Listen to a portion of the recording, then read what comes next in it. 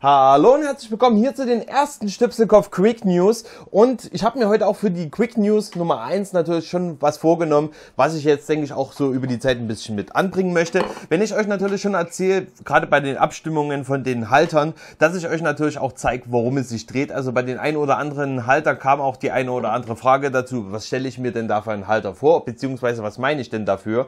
Und dafür habe ich auch mal für die folgenden Abstimmungen die ganzen Sachen dafür parat gelegt, so dass ihr natürlich euch da auch schon mal so einen ersten Eindruck machen könnt, wie dieser Halter aussehen könnte und was ich überhaupt für einen Gegenstand damit meine. Und kommen wir aber erstmal zur Abstimmung von den letzten Haltern. Und zwar habt ihr da ja eigentlich hm, relativ viel gestimmt gehabt, gerade bei der ersten Umfrage, was allerdings sich jetzt die letzten zwei Tage immer wieder hin und her gewechselt hat, weil es waren zwei mit 28 Prozent immer mal wieder dabei. Und das hat sich dann über die letzten zwei Tage dann wieder mal gegeben. Wir sind jetzt letztendlich bei 28 Prozent für den Bohrerhalter geblieben. Und da sind natürlich die Forstner Bohrer dabei. Ich hole sie einfach mal.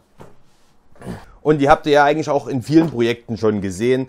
Ich rede natürlich von diesen Pfostener Bohrern hier. Also da habe ich ja ein paar mehr und dann auch noch die normalen Bohrer sollen natürlich auch noch mit daran. Also daher, der Halter wird als nächstes gebaut.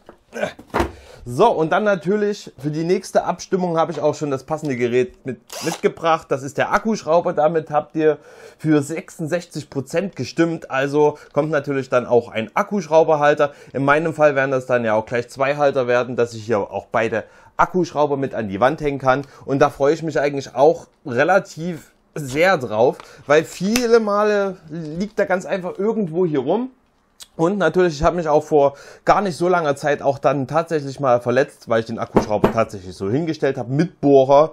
Und ja, wie es dann halt ist, man legt die Hand hin und dann zack, war der Akkuschrauber, nee, der Bohrer dann ganz einfach mal im Finger und das muss nun einfach mal nicht sein. Daher natürlich auch der passende Halter. So, ich habe jetzt auch für die ersten Quick News natürlich auch schon ein paar mehr Halter tatsächlich vorbereitet. Also ihr seht jetzt ganz einfach mal gleich vier Abstimmungen. Das soll jetzt nicht heißen, dass jetzt vier Projekte in einer Woche kommen, aber so kann ich natürlich auch vorausschauend ein bisschen planen. Und des Weiteren seht ihr natürlich schon mal eine größere Auswahl an Haltern, die in der Zukunft sowieso irgendwann noch gebaut werden. Also so, dass ihr da schon mal einen größeren besseren Überblick habt. Kommen wir auch ganz einfach zur ersten Abstimmung. Und zwar der achte Halter steht zur Auswahl natürlich der Brillenhalter. Und damit meine ich natürlich nicht irgendwelche Sonnenbrillen, sondern schon Arbeitsschutzbrillen. Also zum Beispiel die hier war jetzt zum Beispiel für meinen Heimleser. Und natürlich dann habe ich auch noch Schutzbrillen fürs Bohren und so weiter. Also keine sonstigen Sonnenbrillen sind damit gemeint. Also schon Schutzbrillen. Dann haben wir den Handschuhhalter, also diese Einweghandschuhe, die ich ja relativ häufig auch mal verwende, gerade wenn es um Lacke geht oder sonstiges, so dass man sich nicht die ganzen Finger immer wieder einsaut. Der Kaffeetassenhalter ist zum Beispiel auch ein schönes Projekt, finde ich. Gerade jetzt auch, wenn es noch die alte Tasse ist, da wird ja, denke ich, in Zukunft dann auch eine Stöpselkopftasse kommen. Derzeit habe ich sie ganz einfach noch nicht da. Daher steht noch die DJ Jörg Tasse hier. Aber da soll natürlich ein Halter kommen, so dass ich das bequem dann auch mit an die Wand stellen kann. Was auch relativ häufig vorkommt, dass ich hier eine Kaffeetasse rumstehen habe. Also daher auch ein Halter meiner Favoriten. Und dann haben wir noch den Erste-Hilfe-Kasten, der steht natürlich dann auch gleich noch hier. Also das sind so die alltäglichen Sachen drin, Bin Verbände und so weiter, was man halt wirklich in der Ersten Hilfe braucht. Separat kommt dann später noch ein Pflasterhalter dazu, aber das ist jetzt natürlich erstmal das, was natürlich jeder kennt. Also der Erste-Hilfe-Kasten als letzter Punkt. Für den neunten Halter habe ich mir auch schon ein paar Sachen rausgesucht, die definitiv mal mit an die Wand müssen. Das sind zum Beispiel diverse Zangen, die ich ja immer wieder mal brauche. Also gerade diese Krimpzangen und diese Abisolierzangen. Das liegt hier permanent in irgendeiner Ecke rum. Und wenn man es mal braucht, kennt ihr natürlich auch, dann findet man es nicht oder man muss lange suchen. Und das will ich natürlich auch möglichst vermeiden. Daher müssen natürlich mal alle Zangen an eine Stelle kommen. Und daher der Zangenhalter. Dann haben wir noch den Getränkehalter.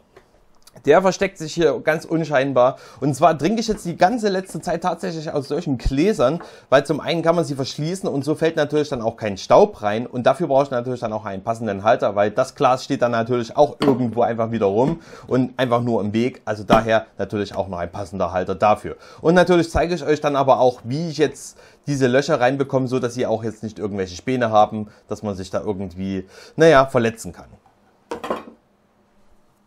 Dann haben wir den Hammerhalter, also da brauche ich glaube ich nicht viel sagen. Hammer, Hämmer hat natürlich jeder zu Hause rumliegen und das meist nicht nur einen und daher natürlich auch ein Hammerhalter, wo natürlich auch mehrere rankommen.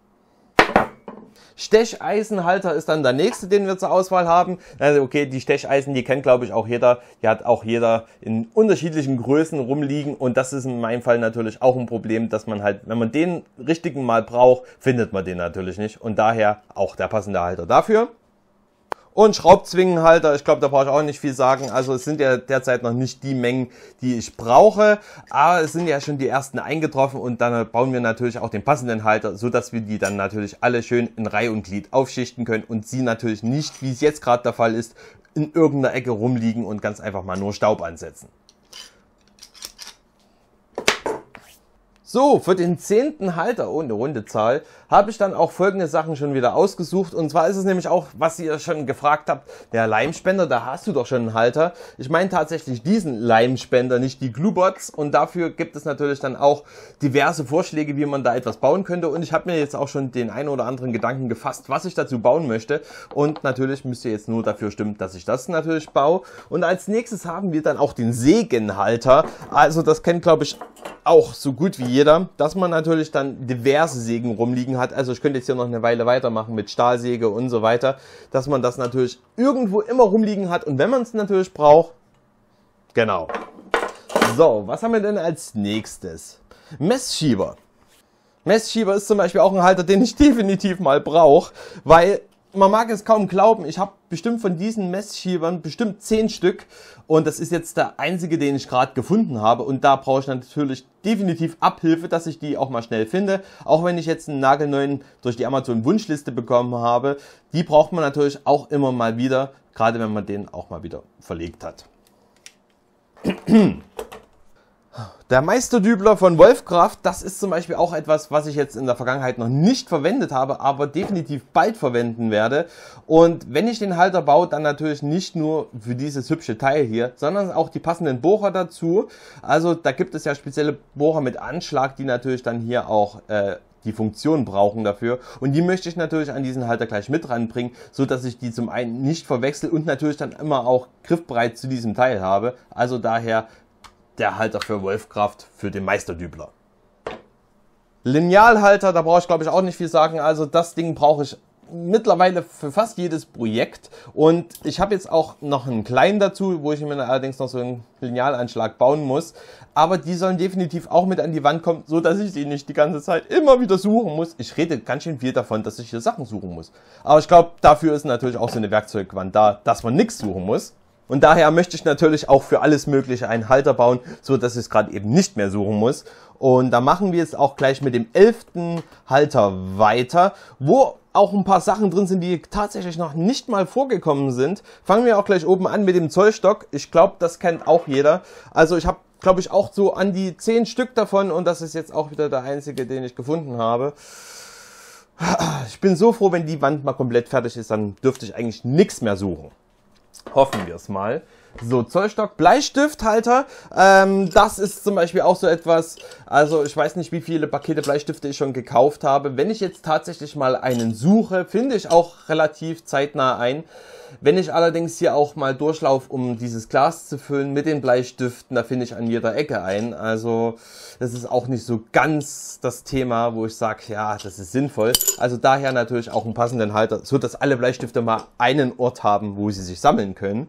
So, Bleistift, Laptop-Halter, ich glaube, da brauche ich auch nicht viel sagen. Also ein Laptop der natürlich dann auch bequem dann mit hier an die Wand kann, so dass ich natürlich während dem Arbeiten natürlich dann auch mal ein YouTube-Video schauen könnte, einen Film anschauen könnte oder natürlich dann auch mal den einen oder anderen Kommentar beantworten kann. Also das sind so die Sachen, die natürlich jeder, der was mit YouTube macht, kennt und daher natürlich auch der passende Halter dafür. Die Lötstation, da muss ich mal ein bisschen Platz machen. Die Lötstation ist zum Beispiel auch so ein Halter, wo ich sagte, ja, baust du den, baust du den nicht? Und ich, ich habe jetzt gerade ganz einfach mal alles zusammengesucht, was ich für die Lötstation habe. Das sind ja diverse Platinenhalter, naja, Zangen, Pipetten und was es alles gibt und natürlich und natürlich die eigentliche Lötstation.